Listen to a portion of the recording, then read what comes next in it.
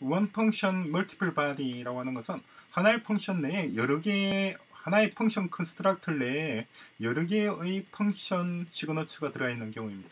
어떤 의미인지 좀 자세히 살펴보도록 하겠습니다. handle open해서 fn end 돼 있죠. 그러니까 이게 fn과 end가 function을 만들어내는 constructor이고 그리고 만들어진 function이 하나가 아니라 지금 보시면 두 개가 있죠. 그죠? 첫 번째 argument 그리고 return value argument return value입니다. 그런데 재밌는 것은 뭐냐니까 요게 pattern matching이 그대로 적용된다는 거예요. 어, 어떤 의미냐니까 handle open해서 여기서 어, 전달되는 argument가 이러한 형태의 argument가 전달되면은 얘가 실행되고 그렇지 않으면은 다음번 pattern matching이 들어가죠. 얘는 general이잖아요. 어떤 어, argument든 들어갈 수 있는 general이고 단지 그 argument를 쓰지 않겠다는 거죠. 버리겠다는 거잖아요. 자리를 지켜놓은 거예요.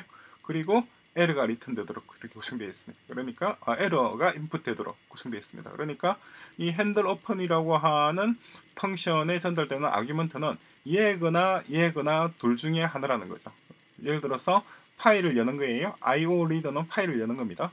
파일을 열어서 만약에 파일을 열었다고 한다면 열린 파일의 PID가 여기에 들어가야 되고 그리고 성공했다는 OK라고 하는 어, 아톰이 전달됩니다. 아톰과 PID가 리턴되도록 돼요. 그리고 만약에 파일을 못 열었다라고 하면 어떻게 되나요? 그럴 때는 에러가 뜨죠. 에러가 뜨는데 앞에는 뭐가 오든 아무것도 무엇이든 상관이 없습니다. 그리고 뒤에 오는 거는 에러죠. 그죠? 자, 이런 형태가 됩니다. 그래서 잘 보시면은 첫 번째 function의 argument의 구성과 형식과 개수가 두 번째에 있는 것과 동일하죠.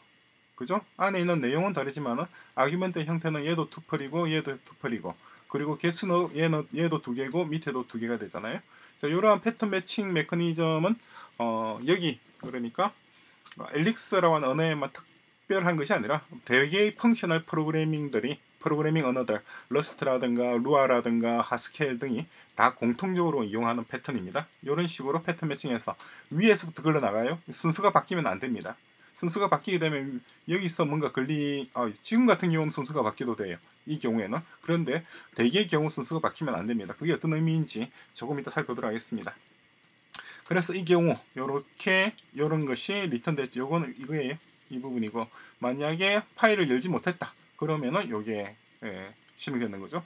잘 보시면은 이게 anonymous function이니까 점이 하나 찍히고 그런 다음에 여기 앞에 우리 identifier 이름 identifier가 적히고 그죠? 그리고 여기가 바로 어, 괄호 속에 이렇게 하나의 또 다른 function이 들어있죠. 그죠? function, 소위 말하는 function이 들어간 것이 아니라 function의 리턴 value가 들어가죠. file open이라고 하는 function의 리턴 value가 여기 들어가게 됩니다. 그렇죠?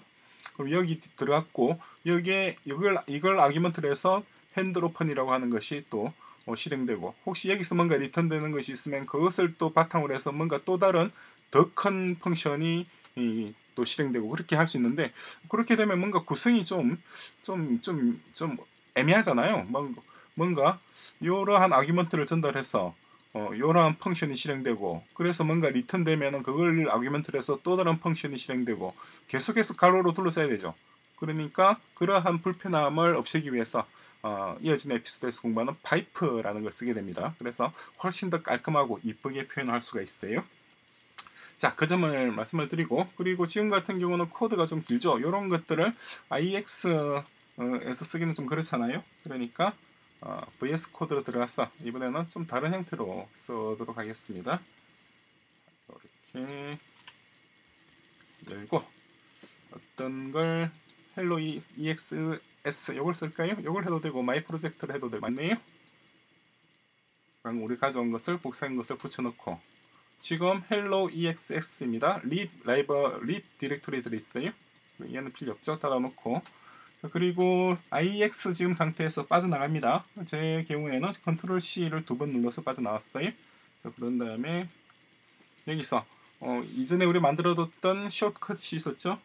기억나시나요? P open 키보드 shortcut 여기에서 이렇게 command 플러스 M에서 어, 요걸 실행하도록 구성했잖아요. 그러니까 command 플러스 M 제 경우는 맥입니다. 맥이라서 이렇게 했어요. 여러분들이 Windows나 Linux로 쓴다 그러면 다른 키 조합을 해야 되겠죠. 그래서 구성을 해두었습니다. 그러면은 여기서 이제 command P 제 경우 command M이죠. M을 누르게 되면은 자동적으로 여기 있는 파일 지금 열려 있는 파일 hello.exs 현재 hello.exs 파일이 열려 있습니다. 뭐 어떤 것이든 상관이 없습니다. 그래서 요 실행되도록 구성을 어, 했습니다. 그래서 실행 결과 이렇게 나왔죠. error no such file or directory 됐잖아요. 그럴 수밖에 없죠. 현재 요런 어, IO read에서 파일 라인 이런 이름의 파일이 지금 만들어진 게 없어요. 그러니까 두 번째 여기서 걸렸습니다. 여기서 걸려서 어, 요대로 출력이 된 거예요. 파일 포맷 에러 에러 됐죠. 그게 요 내용입니다. 자 그리고 이어서 어, 다시 본문으로 들어가서 보겠습니다. 이렇게 앞으로 그러니까 한 줄로 우리가 function을 실행할 때는 건 IEx라고 그렇지 않고 두 줄 이상일 경우에는 어, 파일로 만들어서 파일을 그대로 실행을 하도록 그렇게 구성을 하겠습니다. 뭐 파일 명칭 이름은 어떤 것이든 상관이 없습니다. 하여튼 열려 있는 파일을 그대로 실행을 하도록 명령으로 구성을 했어요. 어, 그렇게 하거나 아니면은 이렇게 명령을 줄 수도 있습니다. 만약에 파일 이름이 handle open exs라고 한다면은 이 여기시 뭐예요? 그냥 디렉토리로 들어가서 자기의 워킹 디렉토리로 들어가서 엘릭서 그다음에 파일명 이렇게 해서 실행 컴파일과 실행을 동시에 할 수도 있습니다. 한번 테스트 해보시기 바랍니다. 자 연습 문제가 있습니다. 어, 두 개의 연습 문제가 있네요. 첫 번째 연습 문제 어떤 내용인지 보겠습니다. 어, 세 개의 argument를 받는 function을 작성을 하십시오. 그런데 어, 첫, 번, 그 첫 번째와 두 번째는 제로일 경우 그죠?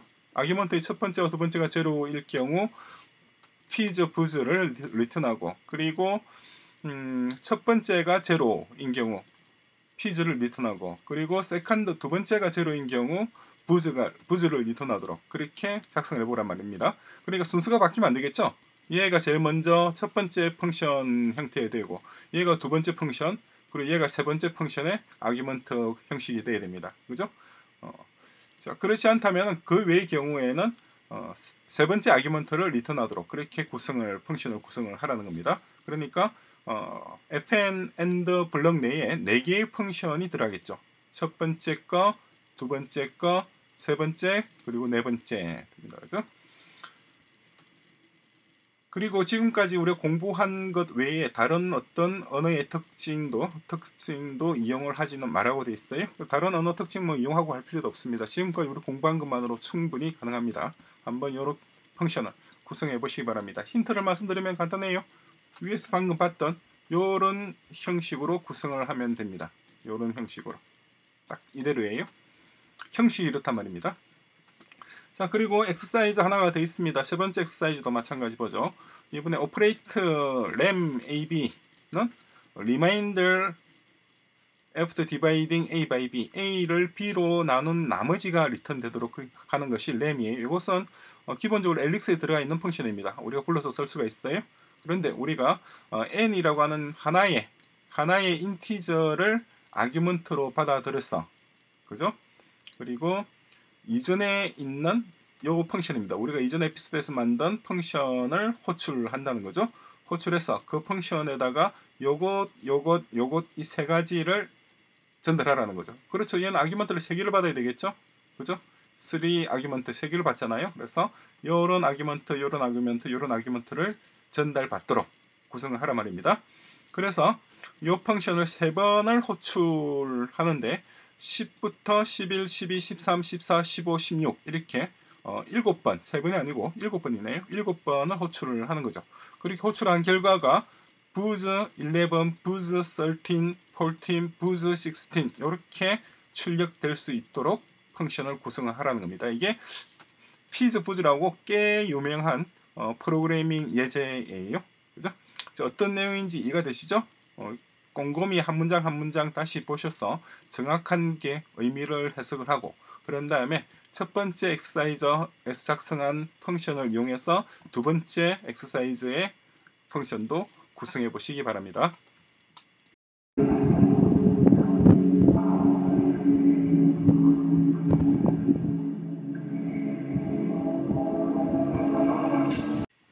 첫 번째 예제입니다.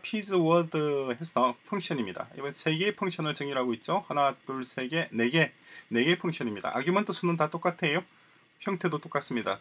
첫 번째와 두 번째가 제로일 경우 얘가 return되고 첫 번째가 제로인 경우 얘가 return됩니다. 그런데 순서를 보시면은 이 경우에 fizz는 return될 수가 없습니다.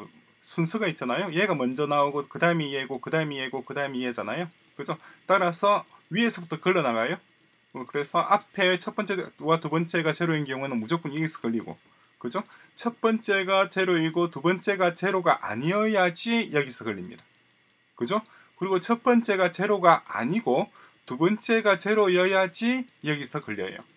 그죠? 그리고 이것도 아니고 저것도 아니고 첫 번째와 두 번째가 다 제로가 없는 경우에만 얘- 여기서 걸리도록 구성되어 있죠. 그죠? 만약에 순서가 바뀌어서 얘가 위로 올라간다 그러면은 얘는 실행되지 않습니다 절대. 왜냐하니까 여기서 다 걸려버리잖아요. 어떤 의미인지 이해가 되시죠? 그 점에 잘 주의를 기울이셔야 됩니다. 다음 두 번째 예제 에, 어, 문제죠. 마찬가지 똑같습니다. 그대로 작성하시면 됩니다. n을 받아서 그런 다음에 n과 3인 remnant n과 5를 argument로 하는 rem 그죠? 어, remainder죠? remnant 혹은 remainder 어, function 그리고 n 요것을 실행해서 마찬가지 여기다가 10, 11부터 16까지 하게 되면 이런 형태의 리스트가 return됩니다. 이게 피즈 부즈라고 하는 유명한 예제이고 자세한 내용은 여기 위키를 참조를 하시기 바랍니다.